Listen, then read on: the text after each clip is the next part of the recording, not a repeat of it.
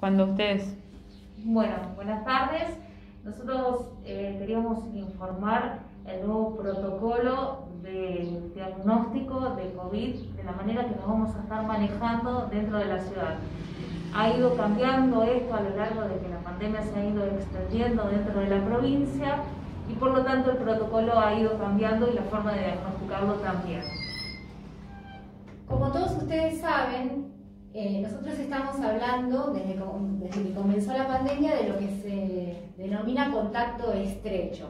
Todas esas personas que están en contacto por más de 15 minutos, sin protección, a menos de 2 metros de distancia, de una persona que empieza con síntomas, se considera contacto estrecho. Esa persona desde ese momento es considerada una persona sospechosa de COVID-19, por lo cual se le va a someter a un hisopado. En caso de que sea positivo ese hisopado, que se le confirma la enfermedad COVID-19, lo que ha cambiado es que toda persona que fue considerada contacto estrecho y está conviviendo con esta persona que dio positivo y empieza de pronto también con síntomas, se la va a considerar también positiva, sin necesidad de realizarle el test PCR, el hisopado, para su diagnóstico. Es un diagnóstico a través del nexo epidemiológico.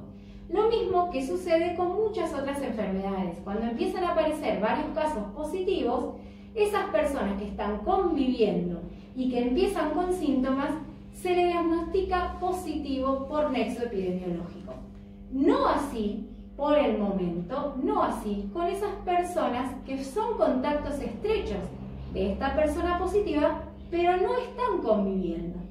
En ese caso, esas personas que no están conviviendo con el caso positivo, son contactos estrechos porque estuvieron de manera estrecha de alguna forma en algún lugar y empiezan con síntomas, sí van a ser hisopadas para realmente confirmar si también tienen la enfermedad o no. En ese caso, si se les confirman y a la vez tienen convivientes y empiezan con síntomas, esos convivientes va a suceder lo mismo. Se les va a diagnosticar la enfermedad a través de nexo epidemiológico y así sucesivamente.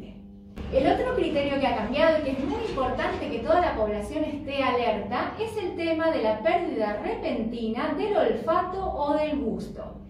Si alguien, de algún vecino, empieza con repentina pérdida del olfato o del gusto, es sumamente importante que dé aviso a las autoridades sanitarias porque se está tomando este síntoma, tanto la pérdida del olfato o del gusto, suficiente para realizar el diagnóstico de la enfermedad COVID-19 y tomar medidas no solo para esta persona que se va a aislar, sino también para todos sus contactos estrechos.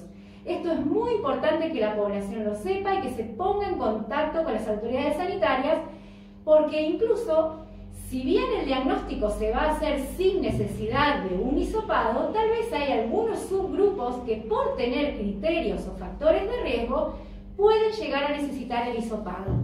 Es importante que alguno que presente estos síntomas, cualquier eh, vecino de la comunidad, se autoaísle y dé aviso.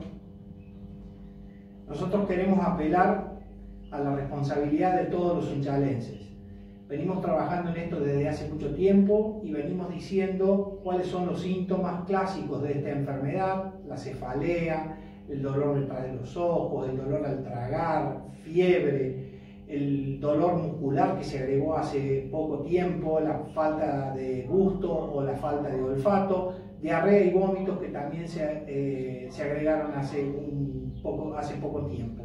Es muy importante que los retengan y es muy importante que los reconozcan y también más importante aún es que se comuniquen con los referentes que están trabajando y que se están comunicando con la población para ayudarlos en estas circunstancias. El hospital, ambas clínicas, el, llamando al doctor que están debajo de nuestras imágenes, están circulando los números a los cuales se pueden referir. Es sumamente importante de que se comuniquen, es sumamente importante de que se dejen ayudar, no hay que tener miedo de decir que estamos atravesando un momento de la salud de nuestra vida y en nuestra vida que es esencial de que la visualicemos, que la reconozcamos, que la comuniquemos y que nos aislemos. Apelamos a todos ustedes porque es la mano que nos pueden dar en esta lucha en la que estamos emprendiendo todos los sunchalenses.